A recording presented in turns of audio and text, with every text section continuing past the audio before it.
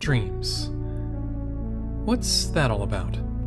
If you're a human being, no matter who you are or what you do, no matter how long you stay awake for, whether that's the typical 16 hours or several days at a time, at some point or another, you must fall asleep. And whether it's in a fantasy landscape or grounded in a slightly altered version of reality, whether it's taking place today, tomorrow, some distant time in the future, or a reliving of a memory from the past, whether it involves people from your life or creatures you've never met before, you will dream. And often, we don't experience these settings and environments exclusively per dream. Dreams seem to be more often made up of a combination of different times, places, and people, an amalgamation of our own personal experiences and our own psyche. For instance, in a dream, you may experience being around a friend or a relative, and then have them phase into a different person, perhaps even a fictional character, as events progress, completely oblivious to this happening at all. Only to realize just how bizarre it actually is for that to happen when recalling the dream upon waking up. Dreams and the act of experiencing them is curious. It's thought to be our brain's way of relaxing and recharging, and whether you remember it when you wake up or completely forget it, we all dream. When thinking of the word dreamlike, a few things come to mind unreal, imaginary, ethereal. The appearance of spaces that would be too fantastic, surreal, and impossible to manifest in our own current understanding of reality. A passage of time, people, and surroundings that feels more like a moving sequence of entries, pockets, or events in a book, rather than one that transitions forward in a way that makes physical or even logical sense. What's going on with us when we're dreaming? What are our dreams about?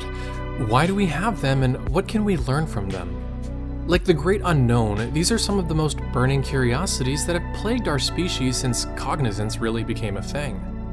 And for good reason. We can't seem to agree on this one. The quick and dirty of it is, it's complicated.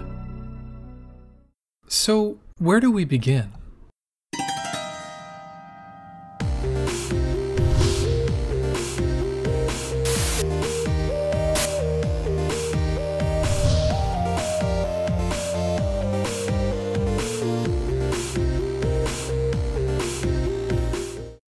The junction that lies between psychology and philosophy, between falsifiability and conjecture, between psychopathology and therapy, exists the mysterious yet wonderful world of dreaming. It's been theorized that dreams and by extension nightmares are a function to help prepare our minds for situations we might potentially experience in the future.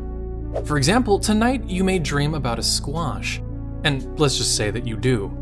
Was it perhaps because you've been having anxiety about fruits and vegetables lately? Does that even make sense? Or was it just a meaningless coincidence? What about if you have a nightmare of being chased by an evil clown? Are you now better equipped should you encounter an actual evil clown in real life? And what about if on the same day as having this hypothetical dream, you were to be told that a clown showed up at the party you were planning to go to? Do our minds simulate events that might be relevant to us in our waking lives? So that when we're faced with a similar situation, perhaps in a moment of fight or flight, we might be better mentally equipped to handle the situation from our simulated experience. In some ways, this might harken back to the idea of seers, premonitions, omens, and the like. Dreaming of things to come, it's an intriguing concept and a trope that prevails quite a bit in fictional media. There's an idea that as simulations of sorts, video games can have an effect on how we interact with dream space. More specifically, that large amounts of time spent in virtual reality gives us practice in moving around in abstract environments. It's believed that people who spend large amounts of time playing video games are more likely to have a better sense of directional control in a dream. In a nightmare setting, this also results in a higher likelihood to choose fight over flight, that is, if the perception that the dream is becoming a nightmare occurs at all. We might even be able to reverse engineer and relate this to another fascinating concept in dreaming. A valuable and perhaps legendary technique, the study of which is found at the juncture between science and the spiritual. Essentially, this crossroads between that which others can observe and that which only you can. But before we can dive into the treat that is lucid dreaming, we must first dive into this metaphorical crossroads. So, back to this idea of dreams being potential simulations for the future, or scars from the past. How much of that is valid? What if our dreams are meaningless? what if they're just matters of coincidence? Certainly, not everything we dream about is going to necessarily pan out in the waking world. At least, with the way some dreams can go off the rails, we should certainly hope not.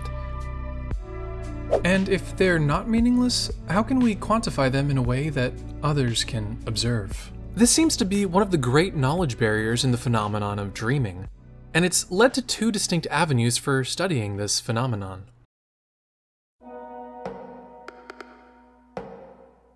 Did you know that there's a field of science that focuses on examining dreams? That's impossible! Well, not so much the study of dreams themselves, but rather more specifically, the process of dreaming. It's called oneirology, and it aims to study the quantitative aspects of the dreaming process rather than the qualitative side pertaining to what dreams mean. In other words, there's a distinction between oneirology and dream interpretation. More specifically, oneirology examines any correlations that might exist between the process of dreaming and our current understanding of the functions of the brain. It essentially looks for an understanding of how the brain works during a dream session and how it might relate to the formation of memories and mental disorders. The field seemed to historically begin documentation in the 19th century with two French sinologists, Marquis d'Hervey de Saint-Denys and Alfred Maury. Though one might argue that oneirology only really gained momentum in 1952, when a physiologist and sleep researcher by the name of Nathaniel Kleitman and his students Eugene Aserinsky and William Dement discovered regular sleep cycles. You might recognize this as REM and non-REM, you know, that creepy, twitchy thing that we do when we're unconscious. I imagine you've probably heard this before, so I'll try to give the TLDR. Essentially, there are three behavioral states of consciousness, excluding being comatose, of course. The state of consciousness that comes with heightened perception, realistic thinking, environmental responsiveness, and physical activity. The state I will presume, or at least hope you're in now as you watch this video. So basically, when you're a state of what you might call light sleep that comes in three stages varying on the sleep depth or level of sleep. It's indicated by physical inactivity and decreased perception and responsiveness to the surrounding environment. We spend most of our time sleeping in non-REM, essentially the descent towards the deepest cycle during which apparent time the brain makes the body physically repair itself. It's thought that if you're feeling weak or fatigued, you could use more non-REM. And while it's rare, we can dream here. It's almost more commonly in the deeper stages of non-REM where we might find someone overlapping in a bizarre middle state like sleepwalking. The deepest cycle of sleep where you'd typically be experiencing a fully immersed dream world. On the outside, you'd exhibit no awareness of the real environment, in effectively what could be considered a paralyzed state, all while your eyes do this. It's at REM where it's thought that the psychological mending of the brain takes place, when the brain deletes any unnecessary memories or bits of information and reduces stress levels. It's thought that if you're feeling mentally ill, getting more REM will help. It's also thought that when a person experiences the terrifying event of sleep paralysis, it's because they've woken up while still in the REM stage, though sleep paralysis is a whole topic for a later video. All the same, after REM we jump back to non-REM and start the cycle all over again, and we experience roughly 5 cycles over a typical sleep session. I thought he said he'd summarize it. I think that was the summary. But we already knew that sleep was vitally important for recharging our batteries. So, what else does oneirology tell us? Well, for starters, sleep cycles are the reason you might recall more than one dream after waking up. Oneirology explores the mechanisms and influences of dreaming, as well as the disorders linked to dreaming, so it also overlaps with neurology, the branch of medicine and biology related to studying the nervous system, its anatomy, and its various functions and disorders. That is to say, unlike dreams themselves, the state of dreaming is observable. Oneirology observes eye movements via electrooculography, or EOG, as well as muscle activity via electromyography, or EMG. In oneirology, we're also able to analyze brain waves during a dream session via an electroencephalogram, or EEG as it might be more commonly known. In a similar fashion to how polygraph tests can measure blood pressure, pulse, respiration, and even skin conductivity. Through conducting EEGs while a subject is dreaming, we're able to observe and measure the effects of drugs and neurotransmitters on the processes of sleeping and dreaming. With less focus on the origin of dreams, oneirology, this study of dreaming as a function of brain activity, finds its usefulness and efficacy in the potential implications that it can produce for treating mental illness, something I'm convinced is in many ways a resultant part of the human condition. We've also discovered that during REM, heavy activity has been observed in the limbic system and the amygdala, and as a result, it's thought that the essential repairing of our emotional and memory functions takes place while we're in a deep dream state. So, at the very least, studying the process of dreaming might be able to help us understand how to treat things like depression and anxiety. I suppose the biggest curiosity of all this might be is dreaming a byproduct of this nightly healing or a function?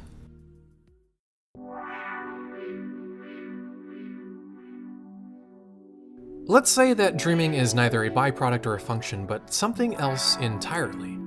If you're human, I imagine the true reason that you're here is to find the answer to this question. What does it all mean? Sure, we know that sleeping is pretty vital to our survival, but why do we dream? The field of dream interpretation takes on this possibly age old curiosity. However, variably, human beings are spiritual creatures. We seek to derive meaning in that which we do not understand things that are intangible and that often take the form of thoughts and ideas. I dreamed I was a butterfly, flitting around in the sky. Then I awoke. Now I wonder am I a man who dreamt of being a butterfly? Or am I a butterfly dreaming that I am a man? Indeed, mankind has been trying to interpret what dreams mean for a long time, and we've since begun to accumulate a long list of old myths, legends, and stories that seem to circulate around this curiosity. In Western and Northern European folklore, a mythical creature known as the Sandman sprinkles sand into our eyes, causing us to have good dreams. In Japanese mythology, a Baku is a creature that can be called upon to devour nightmares. In Greek mythology, the Oneiroi are gods and demigods that rule over the world of sleep and dreams. The god and messenger of dreams was called Morpheus, which interestingly is where the opiate drug morphine got its name. His brother, Phantasos, was the god of surreal dreams. His other brother, Phobetor, was the personification of nightmares. Their father, Hypnos, was the god of sleep, as well as the son of Erebos, the god of darkness, and Nyx, the goddess of night.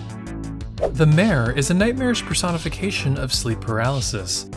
In Lovecraftian lore, there's a theory that suggests all of existence is the byproduct of a dream being had by the slumbering idiot god, Azathoth, an extra-dimensional entity thought to exist in the physical plane in the supermassive black hole at the center of our galaxy. And when he awakens, we all blink out of existence. These are just stories, of course. Ancient Sumerians and Egyptians believed dreams to be visions sent down from gods, messages about the future.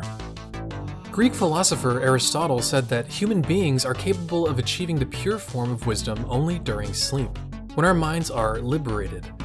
Hippocrates, regarded as the father of modern medicine, believed dreams were powerful indicators of mental and physical health. And at the height of Greek power, the prophecies of oracles, ones which heavily influenced military decisions, were largely based on dreams. If you lived in Rome during the rule of Augustus, successor to Julius Caesar, you would have been required by law to discuss your dreams if they had anything to do with the empire. Full stop. This is where things get significantly more abstract. Some researchers believe that dreaming is a meaningless byproduct of the physiological processes that occur during REM and non REM. Others believe that they are vital to the process of healing our emotional, physical, and mental health. They can be revelatory in reaching certain breakthroughs upon examining whatever they might mean, and at other times, completely random and nonsensical. All the same, researchers and dreamers the world over can't seem to agree.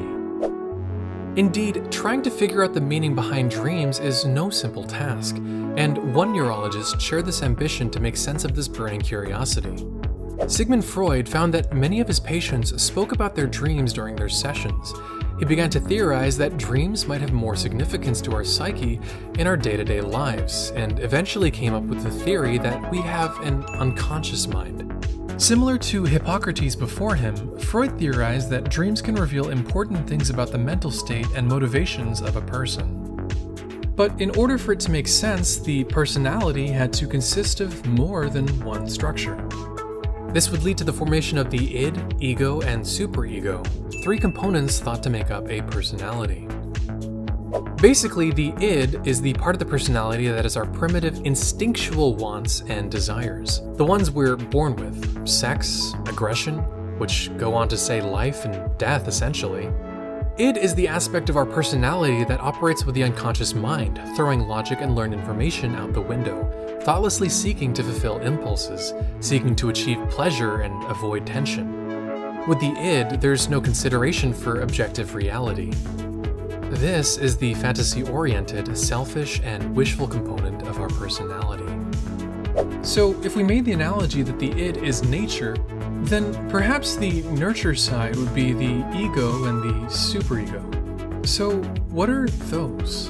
The superego is essentially our theorized moral compass, our conscience. It conceptualizes our ideal self, how we think we should be, and it uses the learned morals and values from society and even upbringing and contrasts them with the impulsive desires of the id. It creates a reward and punishment standard, making us feel guilt or pride whether we're able to keep the desires of the id in check. And so between the id and the superego, there's often a dissonance. I want X now, but I value Y. This is where the ego comes in.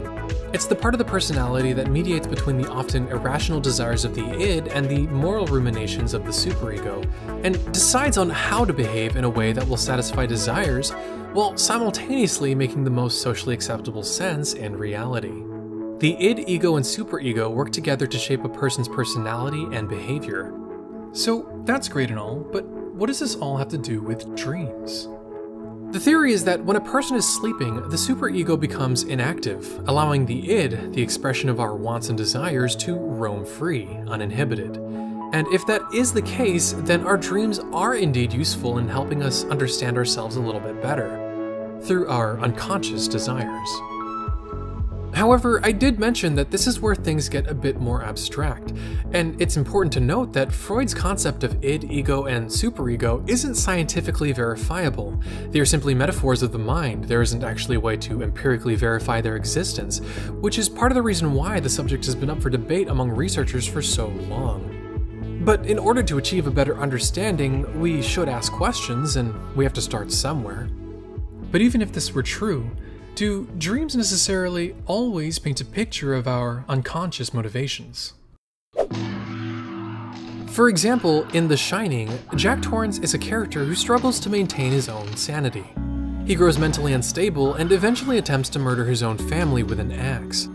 But before he gets to that point, he first starts to experience horrific nightmares. It's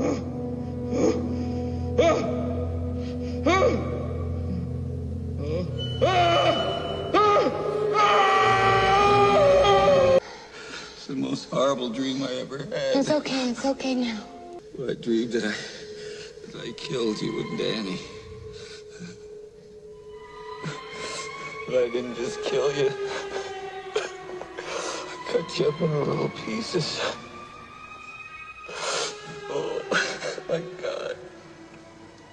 I must be losing my mind. We can see that he's troubled by these ideas, almost as if the id desires blood. The superego recognizes these thoughts as wrong, making him fearful and guilty, and the ego is struggling to make sense of it all. Does this theory suggest that somewhere in Jack's unconscious mind there exists a rationale for why his family being dead would benefit him in some way? Or is his growing animosity towards his family primarily influenced by the powerful supernatural elements at the Overlook Hotel? And if it's both, how much of the dreaming unconscious mind, these visions he experienced, have to do with his later behavior? Here's Johnny. Psychoanalyst Carl Jung also valued dreams.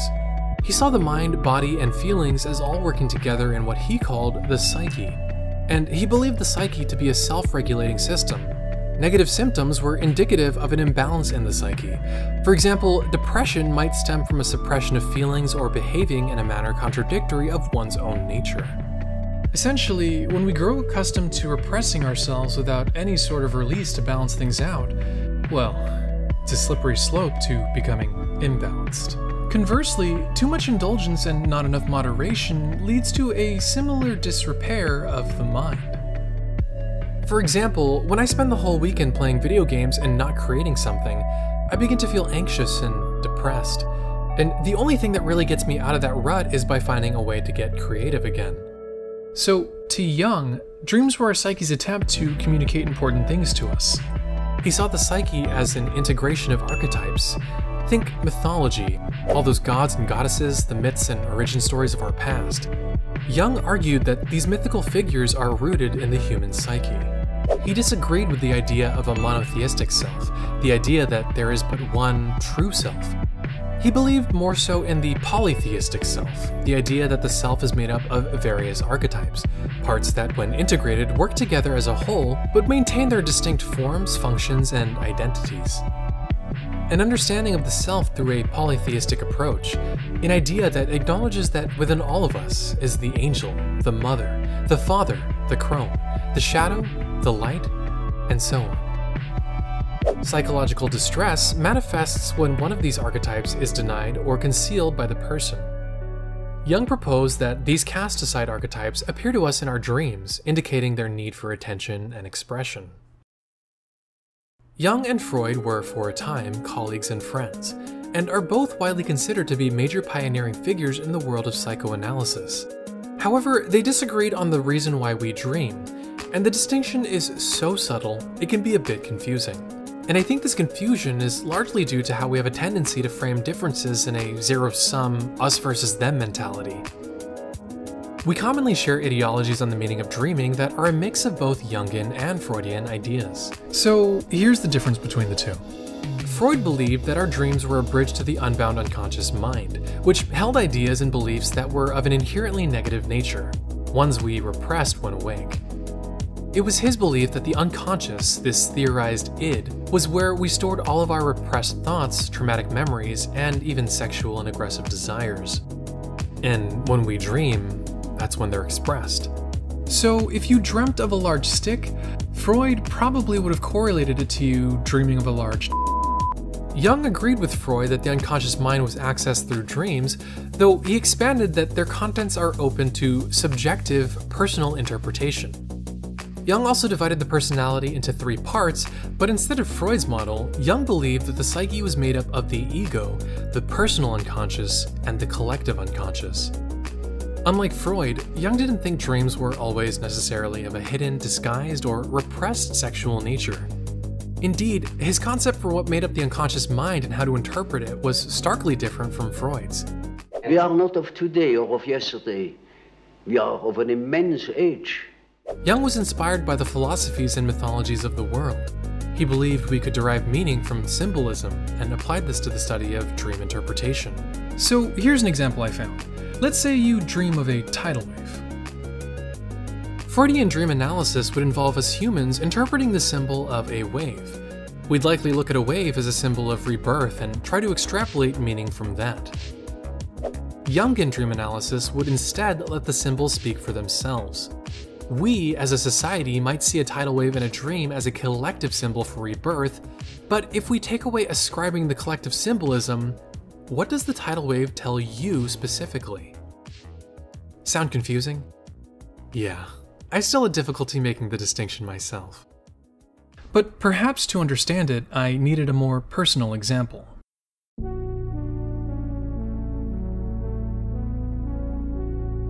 When I was about four years old, I used to have a recurring nightmare. In the dream, it was always the same. I was in hell and the devil was standing over me with a large cauldron. When I say large, I mean it was incomprehensibly colossal.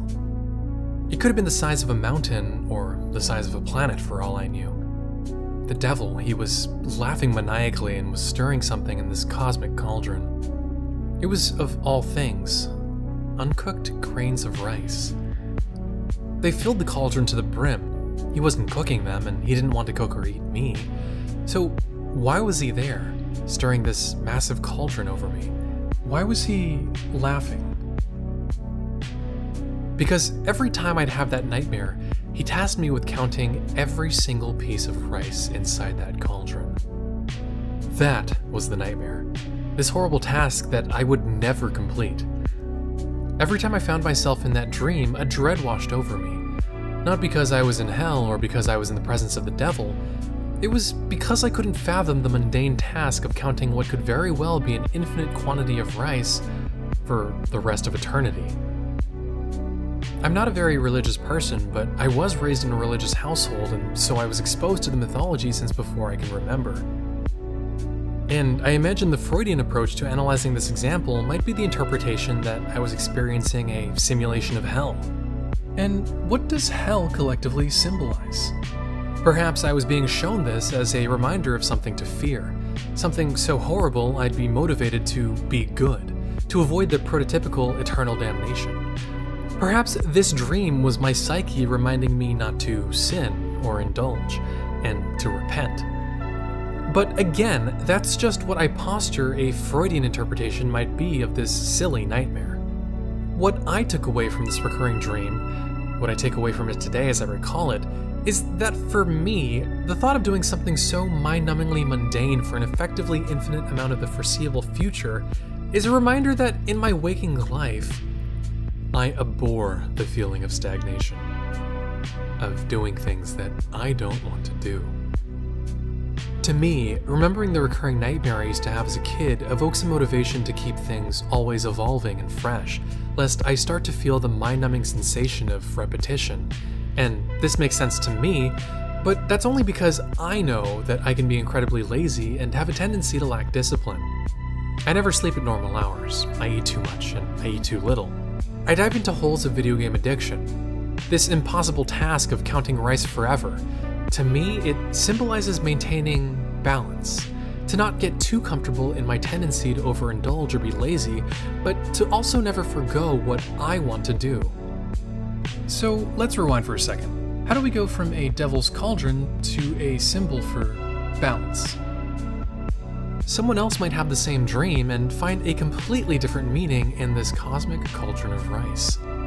The point is, it's an interpretation that probably only makes sense to me. This is what the Jungian side of the dream interpretation postures, and this is the distinction between the Jungian and the Freudian approach. At least, that's the way I understand it.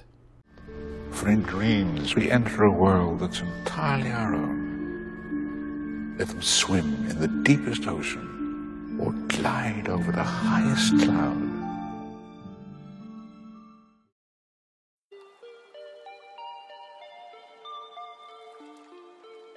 So we have oneirology and we have dream interpretation, but how do these two connect and where? What else can we explore? In applying our observations of dreaming in a clinical setting to observations of mental disorders, we might want to look at the usefulness of dream logging. When you log a dream, the details are important, not just what happened mood, feel, color, sounds, sensations as much vivid detail as you can recall to preserve the clearest possible snapshot. Dr. Irvin Yalom, an existentialist, encourages describing the dream as it is happening, rather than as it happened. So, I dreamed that I was standing on the bow of a ship, it was raining and I was cold, becomes I'm standing on the bow of a ship, it is raining and I am cold. Which one feels more vivid? Still, there doesn't seem to be a way to objectively capture cognitive thoughts, much less dreams. We couldn't, for example, burn your memories onto a film and throw it into a projector to view and show people. So, the most vivid painting of the experience is required to evoke a sensation solid enough to extrapolate any meaning from. With oneirology, we might be able to cross-section external data like the timing and spikes of brainwaves, for instance, during a particularly powerful logged dreaming experience. But again, that would be based on an entirely subjective dreaming experience, one that nobody else could see. Or could we? In 2013, scientists at the ATR Computational Neuroscience Laboratories in Kyoto, Japan began creating a lexicon of dream language. This was done by observing and comparing MRIs of a dreamer's brain to the dreamer's description of the imagery they saw while they were dreaming.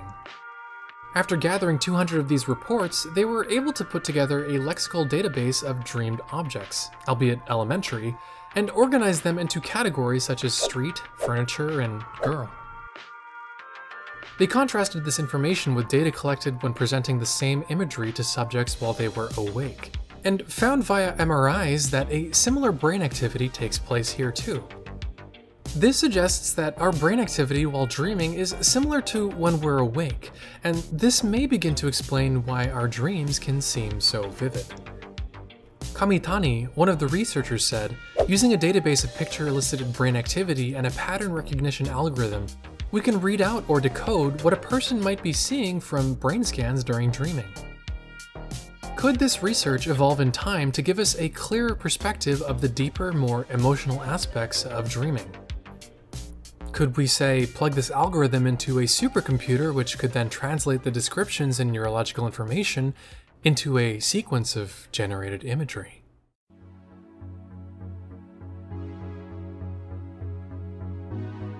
But back to where oneirology and dream interpretation meet. It's at this point in the video where I'd like to introduce what I've decided to call the contrasting curiosity canons because we're about to shoot a bunch of conflicting questions at what we've learned so far. First, how much can we trust the philosophical approach if we're trying to remain scientific? And even further, to what extent did Freud, Jung, and all the curious minds before us have these things right? Can we even view these findings as the end all be all on dream research? Their conclusions don't seem all that strong relative to other observable sciences, and couldn't it be argued that Freud was supremely subjective in his theories? And what about Jung? Wasn't he a controversial figure because his theories stemmed from a more abstract foray into the depths of various religions, mythology, and the philosophical? And what about the dreams where absolute nonsense occurs? How do we explain that? I remember one really dumb nightmare I had one time. I was being chased by Sephiroth from Final Fantasy VII.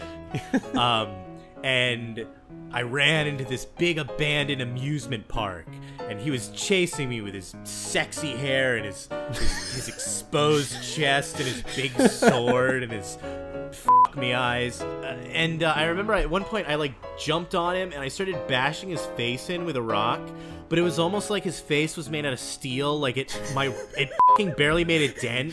Like I was trying to beat Goku over the head. Right. Um, but yeah, tell me what that means, psychologists. Yeah. By the way, I started a podcast about Junji Ito that you should absolutely check free on iTunes. But at the same time, how much can we assume that there is an absolute and indisputable truth? Are we limiting ourselves if we only seek answers in terms of positivist science? This assumption that anything that can't be measured has no value. More abstract things like dreams, psychology, and philosophy, these social sciences, if we can't put a numerical lens to them, or define them in terms of falsifiable formulas and equations, does it necessarily mean that they, as sciences of their own, have no value? Is this even a fair comparison? And in terms of the social sciences, is objectivity but a myth? Should we or shouldn't we challenge this? If it's impossible to completely remove subjectivity from social scientific research, then does that take away its value, or does it have no value in hard science? That it's pseudoscientific? Is it correct to apply the classical rules of natural hard science to the world of social soft science? Is it correct to emulate the natural sciences in search of a social scientific method? What if we're trying to explain things with the wrong language? What if the soft sciences need a different set of rules for assumptions of scientific validity? If this sort of science is subjective, can we perhaps redefine the parameters of what makes it valuable? As for falsifiability and validity with regards to dreams, the takeaway from the most academic of findings is to take it with a grain of salt. And the reason behind that is wait, before we get to that, we have a few other avenues of dreaming to explore.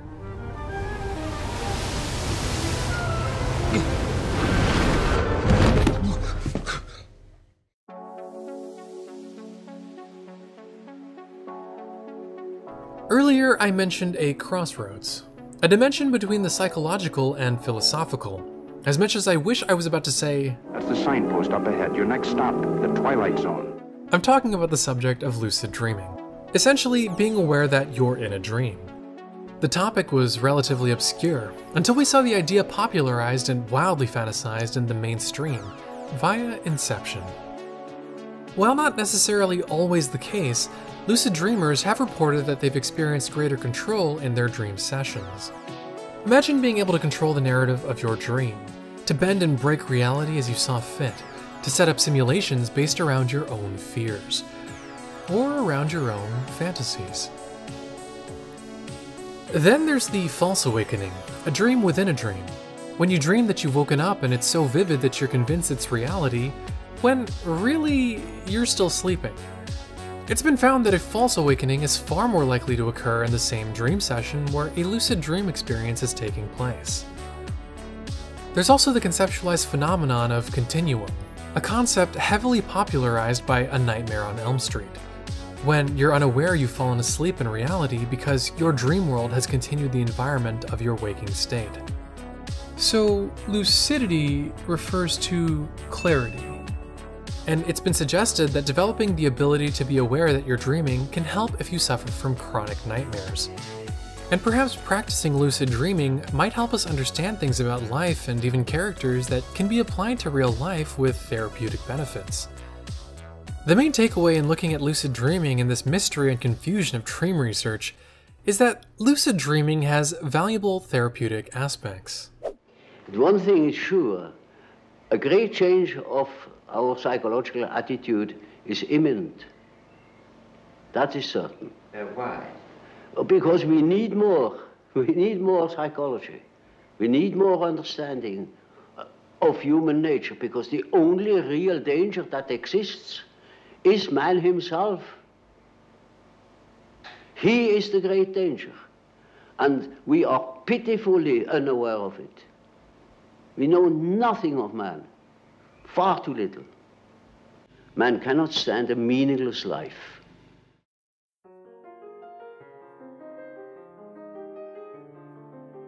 So the research on dreams is quite extensive, and yet uh, the answers we currently have aren't quite satisfying. And the mystery surrounding dreams isn't new or exclusive to us living today. Perhaps we might gain more insight from the past. So, what if we explored the etymology of the word dream? After a quick search, I found that there seemed to be conflicting theories on the matter. If you go back far enough, the single point of origin for virtually all language understandably fades into obscurity. So there's been some disagreement regarding the etymology of the word dream. In the mid 13th century, it was described as a sequence of sensations passing through a sleeping person's mind. The word dream has possible links to various languages across the Indo European landscape. The Old Saxon word drom means merriment or noise. Dream may have also stemmed from the Old High German word traum, and might come from the Proto Germanic word drogmus, which means deception, illusion, and phantasm. The online etymology dictionary also points to a possible relation between dream and the Sanskrit word dra, which means to seek to harm or injure, as well as the word drus from Avestan, an early Iranian language which means to lie or deceive. If we look to the origin of Old English, the word dream was defined as simply joy, mirth, and noisy merriment, which means tearfulness, as well as the increasingly unrelated term music. So, what can we take away from all this? Well, for one, investigating etymology is complicated. But on the other hand, if these are more than potential connections, we're able to extract words like deception, illusion, and lie. We're also able to extract words like harm and injure, and even more seemingly unrelated words like joy, merriment, and even music. What does this mean? Are they connected? And if so, how are they connected? Could it be a reference to how music is an illusion that brings on a sensation analogous to joy and happiness, something which in and of itself could be seen as illusion in the human experience? Is that what dreams are? Illusions which, just like music, are simply meant to bring us a sense of joy or euphoria while we sleep. And where does the word harm come into play? After all, joy and happiness aren't the only emotions that can be evoked by music. And why should we assume that harm isn't related to joy? For example, isn't it harmful to shun the darker aspects to focus only on the positive? Admittedly, this is only the surface of what truly lies at the bottom of the etymology rabbit hole. These aren't the only cultures to speak of dreams. And if all sources of etymology throughout different cultures and times each have their own contribution to a collective unconscious for what dreams are, this is only the beginning. Or is it the case that there is no meaning at all to this etymology nonsense, coincidences and meanings are unrelated, and words just develop the way they do in different parts of the world? Could it be both?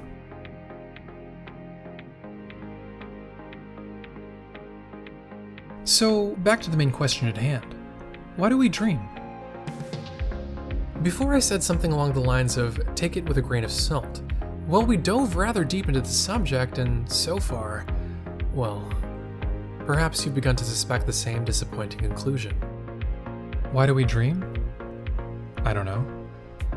But even more so than that, we might never know. Dreams are a subject that is still so open for interpretation. We've learned a couple of things, but like with much of the universe around us that we still don't understand, it seems that the more we know, the more we realize just how much we don't know. But perhaps part of the beauty in our inability to fully comprehend our dreams is that in pondering their meaning, exploring their infinite possibilities, whether lucid or not, we can realize things about ourselves and the world around us that might serve to heal us and help us grow. Could we eventually see a technology that allows us to share cognitive dream space like in Inception? Could we ever fall into a nightmare loop of experiencing centuries of time within a single dream session like in Junji Ito's The Long Dream? In the depths of our collective ignorance, one might suppose that anything is possible. Perhaps to ask why we dream is to ask why we think, or why gravity behaves in the way that it does, or Philosophers and psychologists have been working on this idea for a long time. A joke among therapists is that sometimes the best and only answer that they can offer their clients is, I don't know.